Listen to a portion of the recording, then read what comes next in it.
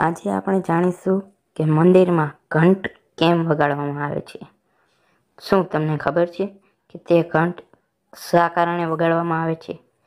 તમે ઘરે અથવા મંદિરમાં પૂજા કરતી વખતે ઘંટડી વગાડી હોવી જોઈએ. પરંતુ શું તમે જાણો છો કે તેનાથી શું ફાયદો થાય છે? તેનું વૈજ્ઞાનિક મહત્ત્વ પણ છે. તો આપણે વૈજ્ઞાનિક મહત્ત્વ પણ આજે જાણીશું. એવું કહેવામાં આવે છે કે પૂજા દરમિયાન ખંઠ વગાડવી જ જોઈએ.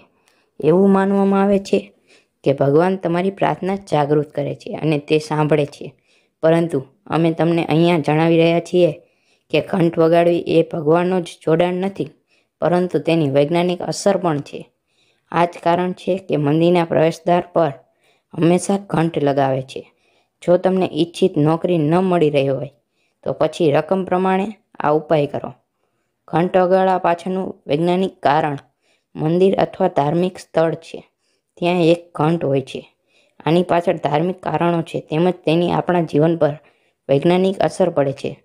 વૈજ્ઞાનિકો કહે છે કે જ્યારે ઘંટ વાગે છે, ત્યારે વાતાવરણમાં એક કંપન ઊભું થાય છે, જેના દ્વારા આપણામાં સૂક્ષ્મ જીવોનો નાશ થાય છે, જે આસપાસના વાતાવરણને શુદ્ધ કરે છે.